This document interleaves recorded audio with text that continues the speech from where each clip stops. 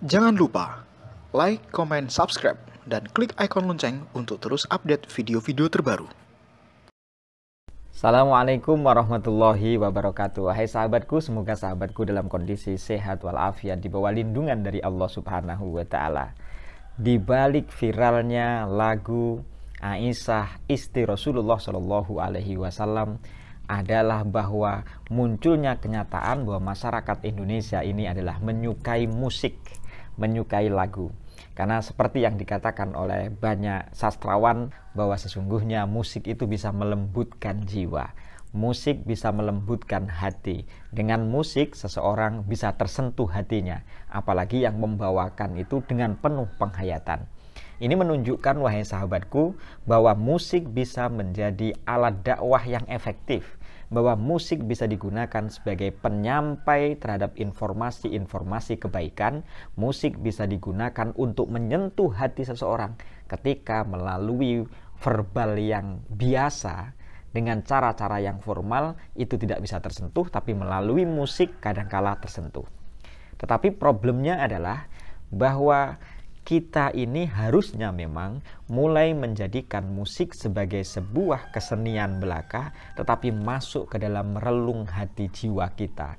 Kita biasa menyanyikan, tetapi menyanyikan itu hanya pada sebatas mulut kita ini, sebatas untuk menghilangkan kesusahan dan kesedihan pada diri kita, tapi kurang meresapi untuk tidak mengatakan tidak meresapi, baik sahabatku, tapi kita kurang meresapi terhadap apa yang ada di musik itu.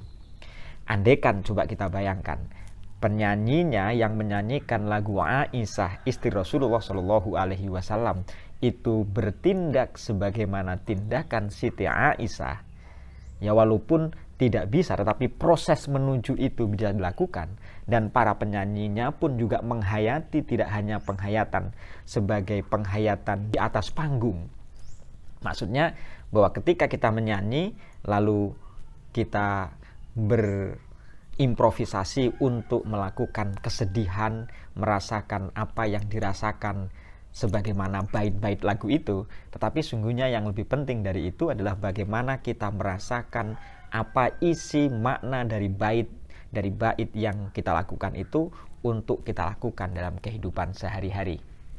Kisah tentang Sayyidatina Aisyah, istri Rasulullah Shallallahu Alaihi Wasallam, misalnya di dalam bait yang pertama itu bercerita tentang dia indah cantik berseri putri Abu Bakar itu menunjukkan bahwa Siti Aisyah adalah perempuan yang baik adalah perempuan yang dia mulia karena Siti Aisyah adalah mulia, maka bagaimana kita memiliki sikap yang bisa menjadikan diri kita sebagai orang yang mulia? Bukankah ada pepatah yang mengatakan bahwa u'tiyas syarif li syarif wa u'tiyal khosis dil khosis. U'tiyas syarif yang mulia itu akan diberikan kepada yang mulia. Wa u'tiyal khosis dil khosis dan sesuatu yang tidak baik, yang tidak mulia akan memiliki hubungan dengan orang yang tidak mulia juga. Artinya ada teori kepantasan. Bagi siapa pun yang menyaksikan atau mendengarkan lagu Aisyah istri Rasulullah Shallallahu Alaihi Wasallam dan pingin sebagaimana bait yang pertama Siti Aisyah itu mulia, indah, cantik, berseri, putri dari Abu Bakar, bahwa Abu Bakar adalah sahabat yang mulia, menurunkan anak Siti Aisyah yang mulia. Dan Siti Aisyah yang mulia mendapatkan suami yang mulia pula. U'tiyas syarif lis syarif wa u'tiyal khosis lil khosis. Kalau diri kita ingin mendapatkan orang yang mulia bagi sahabatku yang belum menikah, kalau sahabatku ingin mendapatkan suami yang baik, maka diri kita sebagai perempuan harus menjadi orang yang baik. Pun demikian, kalau kita ingin memiliki istri yang baik, calon istri yang baik, berarti tempatkanlah diri kita ini sebagai orang yang baik. Karena u'tiyas syarif di syarif wa u'tiyal khosis dil khosis yang baik nanti akan bertemu dengan yang baik dan yang buruk biasanya akan bertemu yang buruk. Ini hanya kebiasaan saja wahai sahabatku. Artinya pelajaran dari bait pertama Siti Aisyah mulia, indah, cantik, berseri bagi sahabatku yang belum menikah, maka jadikanlah diri sahabatku orang yang baik supaya bisa bertemu dengan orang yang baik. Jika sahabatku seorang perempuan, jadilah orang yang baik, menjalankan agama dengan sungguh-sungguh supaya mendapatkan suami yang baik pula. Dan bagi sahabatku sebagai seorang laki-laki yang belum menikah, maka jadikanlah sahabatku laki-laki menjadi laki-laki yang baik, mengamalkan ajaran agama dengan baik supaya mendapatkan perempuan yang baik. Sebagaimana Aisyah mendapatkan Nabi Muhammad Nabi Muhammad pun mendapatkan perempuan yang baik. Dan kalau misalnya sahabatku adalah orang tua maka jadikanlah menjadi teladan bagi anak-anaknya supaya orang yang baik menurunkan anak yang baik. Sebagaimana Abu Bakar orang yang baik sahabat yang mulia menurunkan Siti Aisyah yang mulia pula. Itu yang pertama bait yang pertama. Yang kedua bahwa Rasulullah Shallallahu Alaihi Wasallam dalam bait yang kedua minum bekas bibir dari Siti Aisyah. Artinya bahwa dalam keluarga itu Rasulullah Shallallahu Alaihi Wasallam menjadikan Siti Aisyah adalah pada posisi mulia. Rasulullah Shallallahu Alaihi Wasallam mengatakan ma'akroman nisa'a illa karimun wa ma'ahanahunna illa laimun. Tidak menghargai kepada perempuan kecuali orang yang terhormat. Tidaklah memuliakan perempuan kecuali orang yang mulia. Artinya, orang yang memuliakan perempuan adalah orang yang mulia. Orang yang bersikap baik kepada perempuan adalah orang yang baik wa hunna illa laimun. Dan tidak ada orang yang merendahkan perempuan kecuali perempuan laki-laki itu adalah laki-laki yang tidak terhormat. Orang rendah. Orang rendah itu merendahkan perempuan. Orang baik bersikap baik kepada perempuan. Orang rendah bersikap merendahkan terhadap perempuan. Itu artinya bahwa dalam bait yang kedua bahwa Rasulullah meminum bekas gelas yang dipakai oleh Siti Aisyah. Masya Allah. Dan Rasulullah Shallallahu Alaihi Wasallam menunjukkan keakrapannya. Artinya ada guyon-guyon juga dalam sebuah keluarga. Bukti-bukti guyon itu misalnya adalah bahwa Rasulullah Shallallahu Alaihi Wasallam misalnya mencubit hidungnya, tapi bukan dengan cara mencubit hidungnya yang sakit, tidak. Itu sebenarnya adalah bagian dari guyon, bagian dari permainan, bagian dari canda guro yang dilakukan oleh Rasulullah Shallallahu Alaihi Wasallam kepada istrinya. Kalau sahabatku misalnya istrinya adalah yang hidungnya itu sensitif, ya jangan di hidungnya, bisa melalui kupingnya, bisa melalui pipinya. Karena ada juga perempuan yang ketika dipegang hidungnya gebres-gebres wahing-wahing. Nah kalau begitu ya jangan hidungnya. Intinya ingin menunjukkan wahai sahabatku, sesungguhnya Rasulullah Shallallahu Alaihi Wasallam dengan Siti Aisyah itu adalah orang yang senang untuk bersenda gurau, senang untuk bermanja-manjaan, senang untuk melakukan sesuatu yang romantis gitu. Dan romantis itu ditunjukkan dengan cara memegang hidung, dengan megang pipi atau yang lain-lainnya. Jadi Rasulullah adalah sosok yang romantis dan Siti Aisyah pun juga romantis. Dalam bait yang ketiga, misalnya Rasulullah pun bersama Siti Aisyah berlari-lari. Diceritakan wahai sahabatku, Rasulullah Shallallahu Alaihi Wasallam bersama Siti Aisyah ibaratnya berlomba lah, lomba-lomba lari. Ketika lomba lari itu pernah suatu saat Rasulullah Shallallahu Alaihi Wasallam kalah dalam lomba lari itu. Rasulullah Siti Aisyah, Sayyidatina Aisyah mengejar Rasulullah dan Rasulullah tertinggal.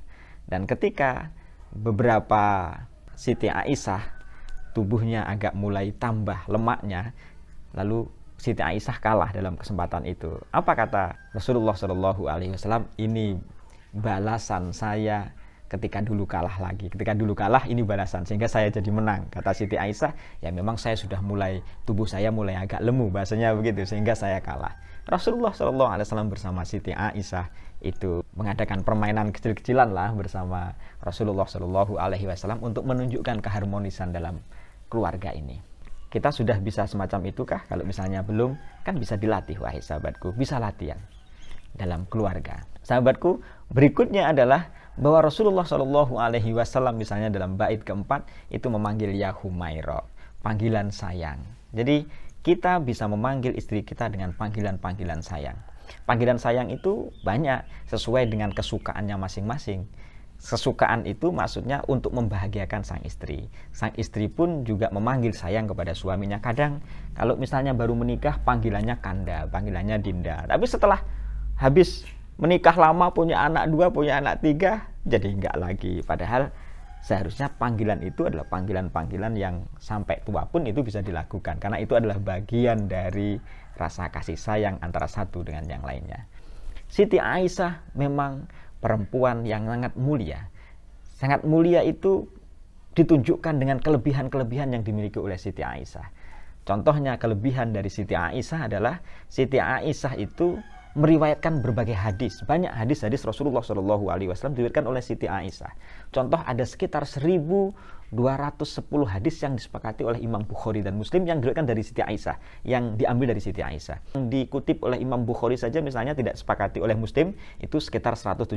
174. Yang disepakati oleh Muslim tapi tidak disepakati oleh Imam Bukhari itu sekitar 54. Artinya bahwa Siti Aisyah adalah seorang istri Rasulullah Shallallahu Alaihi Wasallam yang sangat cerdas. Karena itu banyak persoalan-persoalan para sahabat nanti bertanya kepada Siti Aisyah, sehingga Siti Aisyah adalah orang atau istri Rasulullah Shallallahu Alaihi Wasallam yang sangat dicintai oleh Nabi Muhammad Shallallahu Alaihi Wasallam. Siti Aisyah bersama Rasulullah sangat romantis. Beliau berdua misalnya mandi bersama. Kemudian kalau misalnya Rasulullah juga menghargai Siti Aisyah ketika pulang dari masjid lalu kondisi sudah malam, Rasulullah pun tidak membuat Siti Aisyah bangun dengan cara mengetuk pintu terlalu keras misalnya, Rasulullah cukup di depan pintu kamar. Itu menunjukkan bahwa Rasulullah itu sangat menyayangi Siti Aisyah. Ketika misalnya makan makanannya Siti Aisyah yang asin, maka Rasulullah tidak menghina makanan asin itu, tidak. Dilahapnya dengan penuh kenikmatan dan habis, lalu Siti Aisyah merasakan, lalu Siti Aisyah, lu ternyata asin. Ketika asin itu sadar ternyata Rasulullah menikmati dan Rasulullah tidak menghina terhadap makanan itu. Romantisisme romantisme Rasulullah Shallallahu Alaihi Wasallam dalam keluarga bersama Siti Aisyah patut kita tiru. Kalau misalnya judul dari video ini adalah masalahnya di balik viralnya itu maksudnya satu bahwa semua orang ternyata mencintai musik.